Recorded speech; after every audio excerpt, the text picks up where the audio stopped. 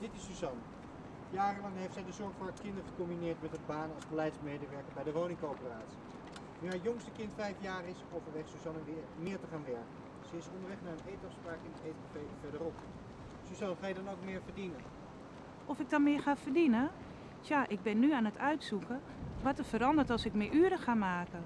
Zoals de vergoeding van kinderopvang en de vergoeding voor zorgtoeslag.